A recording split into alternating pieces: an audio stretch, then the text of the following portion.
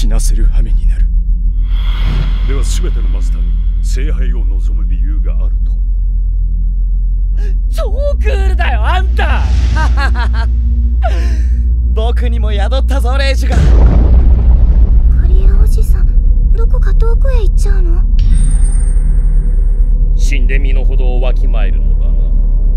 にわかには信じがたい話だとは思うがあらゆる時代あらゆる国の英雄が現代によみがえり歯を競い合う殺し合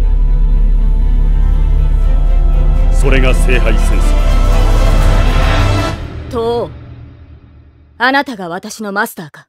あと8年それであなたの戦いは終わる。あなたと私は理想を遂げるの。キレあなたを信じていいですか？バイバイカリアおじさん。よし。あそれでこそ我がマスター。あなたの前には神すらかすむ我が愛にて汚れよ。オーケーだ。貴様は俺を見るに当たらぬ取りに行かせてもらう。面白い。受けて立つ